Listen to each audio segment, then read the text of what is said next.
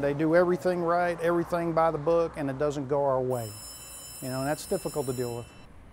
Very difficult. First responders devastated after working tirelessly to save two young boys found in a pond in Montgomery County last night. Sadly, those boys did not survive. A third child did make it after it appears those three kids wandered away from their home. It is simply heartbreaking. Five children have drowned in the Houston area in just the last week. The latest happened last night in a rural area between Conroe and New Caney. Jason Miles is live at the fire station that responded to the call. Very tragic, Jason. Yeah, to say the least, Lynn, you may recall one week ago today I was down at Sylvan Beach in LaPorte covering the drowning deaths of three young siblings. I'm told the two boys in this case were not brothers, but were related. A small pond off a small country road, site of an immense tragedy for the surrounding community. It breaks my heart.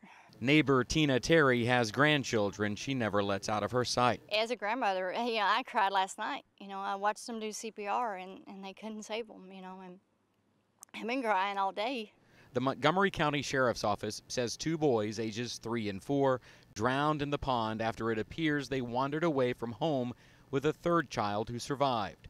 This is video from the scene last night, where deputies and emergency personnel initially responded to a report that the kids were missing.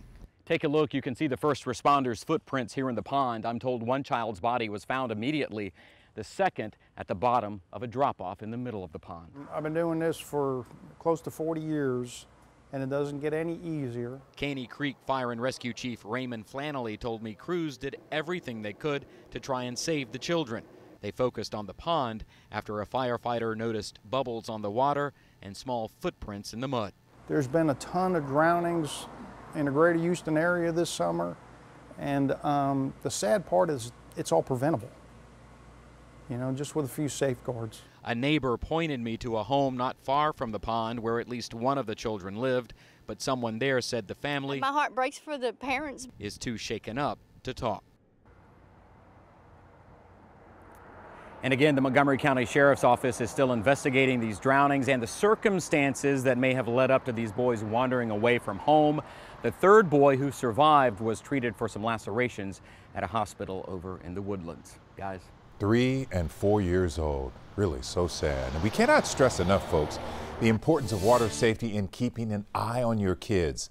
71 children have drowned in Texas this year. Harris County has the most with 13 drownings. That includes the three siblings who drowned in LaPorte a week ago. Water safety can save lives. We have put together information on how to protect your kids around water. Just go to our website, khou.com.